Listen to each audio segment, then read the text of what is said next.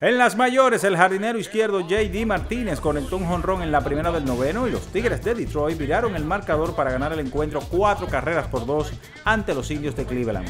Carlos Santana en este partido despachó su cuadrangular número 23 de la campaña, remolcando las únicas dos de su equipo.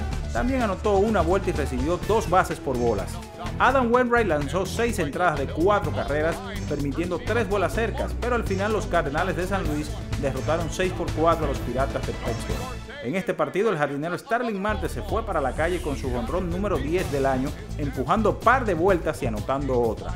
Mientras que en Tampa, el campo corto José Reyes despachó su estacazo número 9 de la estación en la victoria de los Azulejos de Toronto ante los Rays de Tampa, 8 vueltas por 2.